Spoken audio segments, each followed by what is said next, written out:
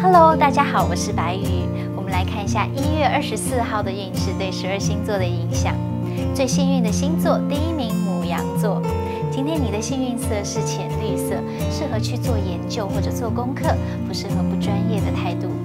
今天你的研究精神帮你抓住了意想不到的机会，这可是可遇不可求的机会哦！我要为你加油。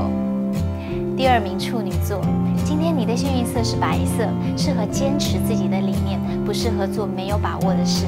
今天出现的合作机会，帮助你打造了未来发展的可能。顺着直觉去做决定吧，这一定适合你。第三名射手座，今天你的幸运色是红色，适合确定自己的目标，不适合急躁。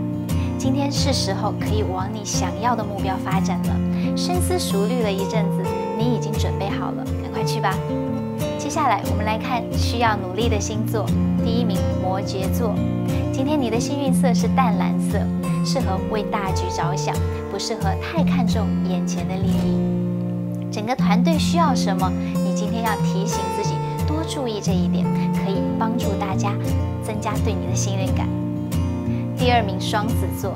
今天你的幸运色是绿色，适合做自己喜欢的事，不适合过于妥协哦。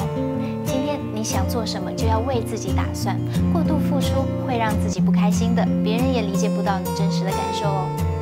第三名双鱼座，今天你的幸运色是米色，适合掌握整个团队的发展方向，不适合没有观察力。今天你需要发挥你高瞻远瞩的管理能力，为大局把握方向。今天我要送给大家一句话：积极行动就能接近目标。我们今天还是要一起加油。